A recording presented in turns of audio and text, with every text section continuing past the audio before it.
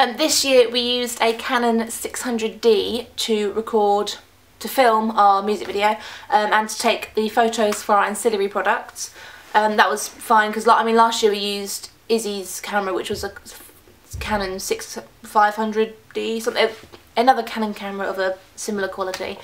Um, so obviously Izzy, I mean Izzy did most of the, the physical pressing the button to record, um, but I mean we both know, knew how to use them. I mean I'm using a I'm using my Canon 600D right now to record this video, um, so obviously I've used it in my evaluation, planning and research and for the actual product.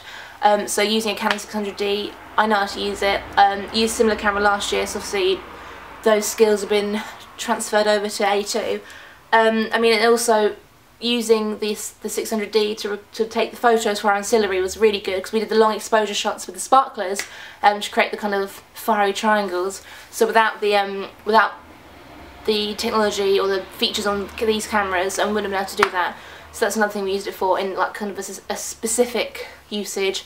Um, but overall, there was nothing wrong with these cameras. We knew how to use them before. They there was nothing that we needed to have done that the cameras couldn't do for us. Um,